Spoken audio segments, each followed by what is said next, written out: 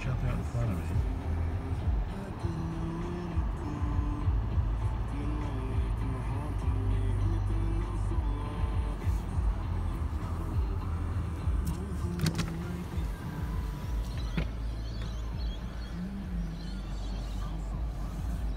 Shouldn't be on the road.